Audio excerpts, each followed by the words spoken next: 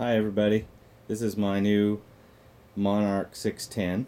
I wanted to um, show you uh, what was happening with it. This uh, hydraulic pump makes a noise and see if anybody could help me figure out what's wrong.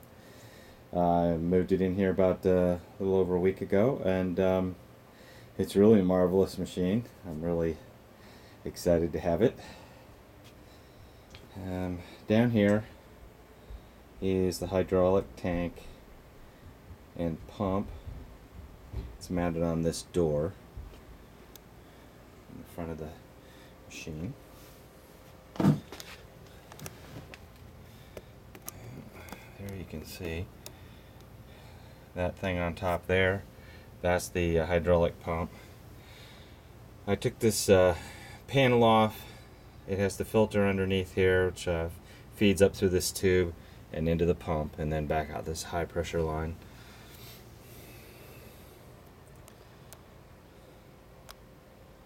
Okay, here we go.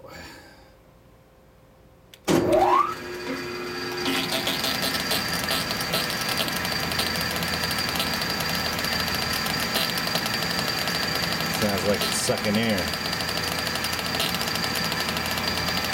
Can't really feel anything much here, a little bit, but here you can really feel the the air bubbles pulsing through there. At least that's what I think it is. It makes me think there's a leak in the suction line over to here. But I really, I really uh, checked this very carefully, cleaned it, took it back apart, put it back together, tightened it. Can't feel anything at all in the casting of the pump. Just right here in the hose.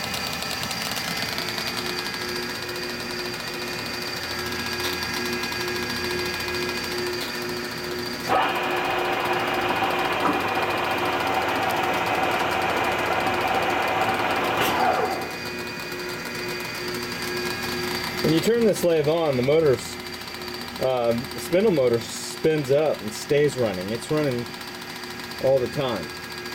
And this is a uh, clutch lever.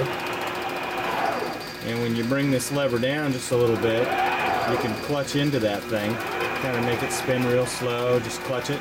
Kind of like you're clutching a car or a motorcycle.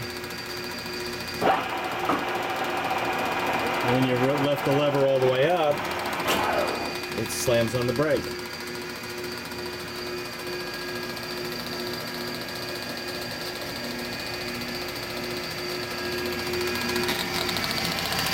Anyway, what the heck's going on here?